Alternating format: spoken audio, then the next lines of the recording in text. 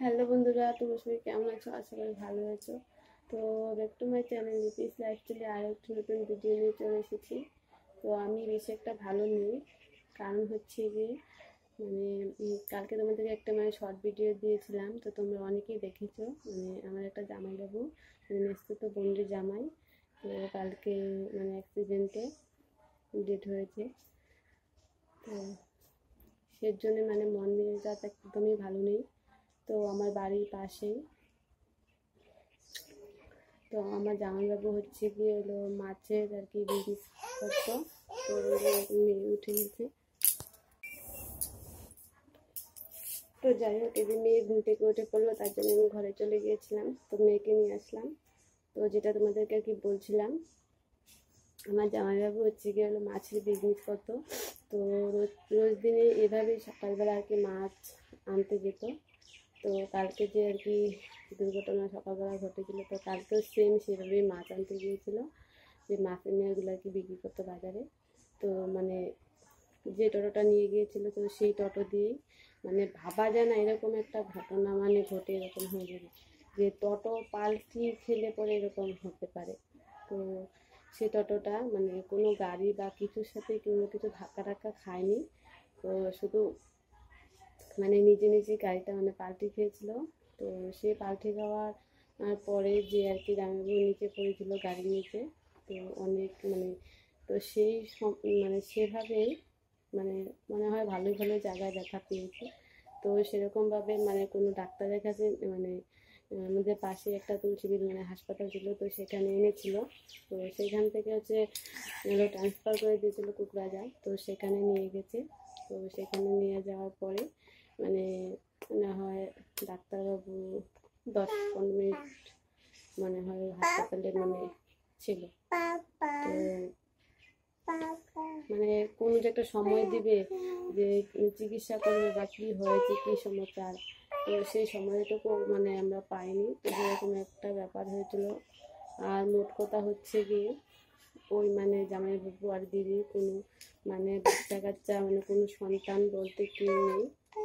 তো সেরকম মানুষের যে ভগবান মানে এরকম করে দেয়, তো সেটাই ভাবি। তো তার জন্য আমি মানে কালকে কোনো ব্লগ তো কিচ্ছু করিনি, কারণ মানে এত মানে লোকজন হয়েছিল। মানে লোকের, কি বলব? মানে এরকম একটা মানে মানে বুড়ো হয়নি কিছু না। ইয়াংয়েই ধরতে গেলে ইয়াংয়ে এখনও তো সেরকম একটা মানুষ যেরকমভাবে চলে যাবে, সবাইকে ছেড়ে কেউ ভাবতে পারেনি।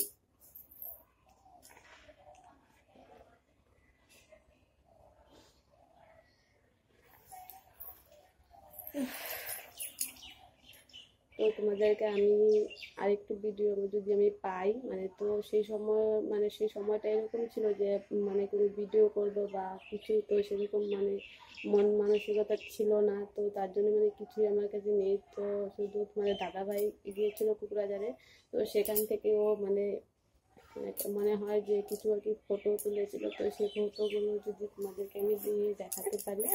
আর হচ্ছে গিয়ে যদি আমি কারোর কাছে ভিডিও পাই, তো অবশ্যই তোমাদেরকে দেখাবো। তো বন্ধুরা, যাই হোক, তোমাদের সঙ্গে একটু পরে কথা বলছি। মেয়ে ওকে একটু খাইয়ে নিই। তো চলো বাবা একটু টাটা করে দাও তো। তো জানো না তো কি অবস্থা? কালকে সারা রাত্রও ঘুমায়নি। শুধু এটাই মাথার মধ্যে, শুধু এটাই মাথার মধ্যে আসে যে কি হলো কি হলো। মানে দু চোখ বন্ধ করলে পরে দিয়ে মানে চোখে ভাসে, এরকম একটা ব্যাপার হয়েছিল। আর বড় কথা হচ্ছে ঘরের মানে আমাদের ঘরের পাশে, আমাদের জমি থেকে যদি পা দিই, তাহলে ওদের জমিতে যাওয়া যায়। তো ঘরের পাশে যদি এরকম একটা মানে ঘটনা ঘটে, তো কীরকম যে লাগে মানে যাদের এরকম হয়েছে, তারাই একমাত্র বুঝতে পারবে। তো বন্ধু, যাই হোক, তোমাদের সঙ্গে একটু পরে কথা বলছি।